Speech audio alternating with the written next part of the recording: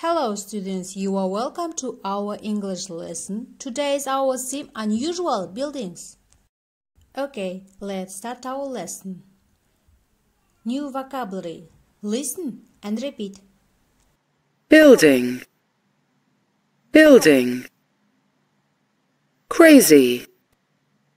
Crazy. Dream. Dream.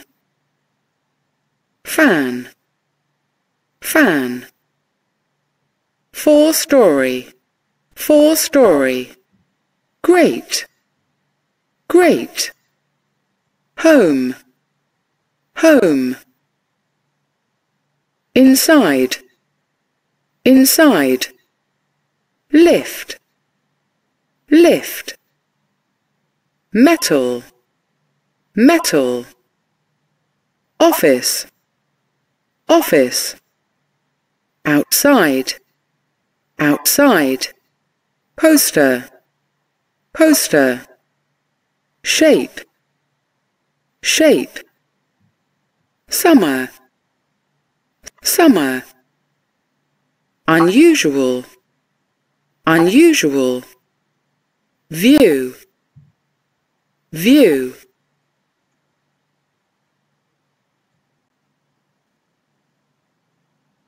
Violin, violin, warm, warm, winter, winter, wood, wood.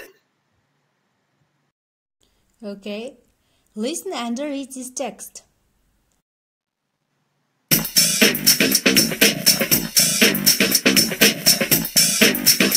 Unusual buildings. There are some very unusual buildings around the world. There's the Kansas City Public Library in the United States. It is the perfect building for a library. The cubic houses in Rotterdam in the Netherlands are very strange.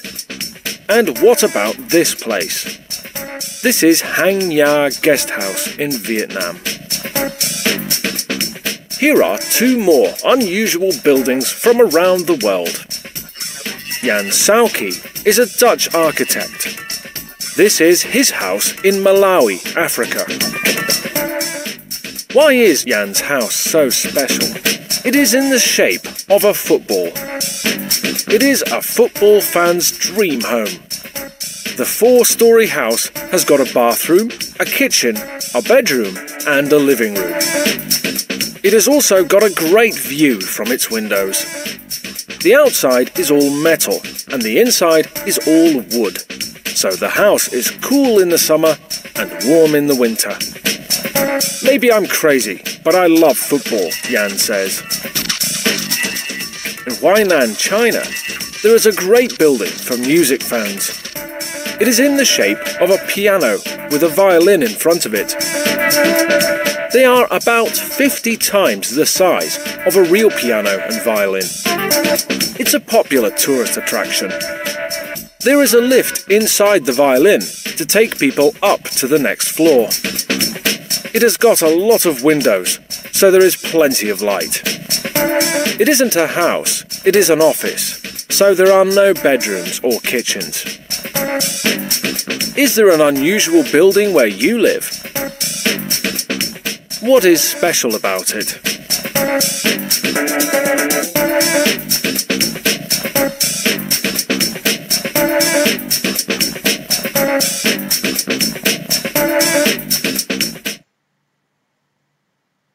Exercise 2. Read this text again and mark the sentences true, false or doesn't say.